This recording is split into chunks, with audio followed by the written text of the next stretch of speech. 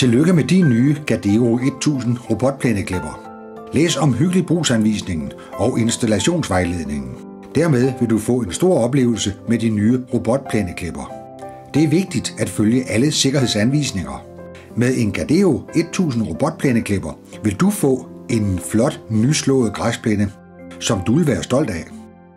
Når du køber en Gadeo 1000 robotplæneklipper, indeholder pakningen følgende.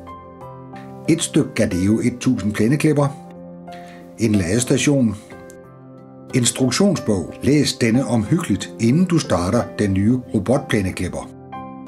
En strømforsyning, en fjernbetjening, en kantledning, diverse pløkker for kantledningen, samlemuffer for kantledning, to styk nøgler for Gardeo 1000, pløkker til fastgørelse af ladestationen i græsset, ekstra knive til Gardeo 1000, batterier til fjernbetjeningen.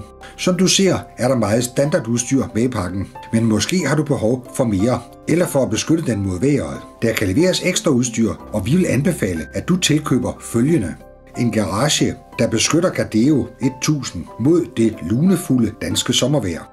Tilbehørspakken, der indeholder følgende 100 meter ekstra kantledning, plukker til fastgørelse af kantledningen, samt ekstra samlemuffer. Dette bruges, hvis du skal omkranse et større areal end det i standardpakningen, der medfølger. Hvis du tegner en serviceaftale med Indrim Service Center, vil vi afhente din Gardeo 1000, når sæsonen for græsslåning er slut. Indrim Service vil efterse, smøre og opdatere din Gardeo 1000 og sende den retur til dig i god tid før den nye sæson starter. Med din nye Gardeo 1000 robotplæneklipper vil du kunne slappe af eller udføre anden havearbejde, mens den klarer græsslåningen. Gadeo 1000 robotplæneklipper, fordi livet skal være andet end arbejde.